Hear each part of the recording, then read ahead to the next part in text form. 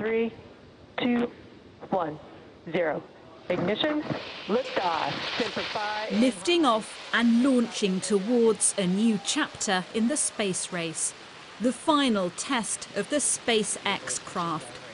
Seconds in and at supersonic speeds, the abort is triggered. MECO. Dragon launch escape initiated.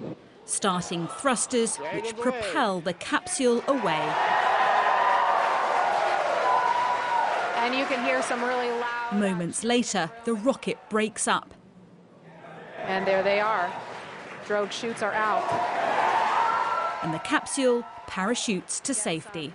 This is hugely significant. A successful test will mean that that's really the last hurdle for SpaceX in sending humans into space. And the next time we see these images and that splashdown of the Crew Dragon, there will be US astronauts on board.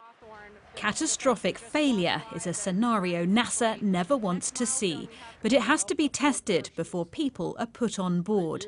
One former astronaut who's flown four missions says it's a major milestone.